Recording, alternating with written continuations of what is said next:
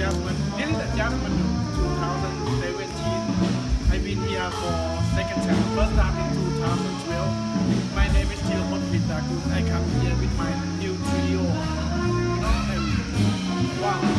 This, I, I come in this festival for second time, but I come to play Nepal for five times. And every time I come here, it's a, you know, it's an amazing country and amazing to, to, to 2017, I feel like a just to just grow up and have something new, have a very good artist around the world. I think you guys should check it out. Some maybe next year. Mo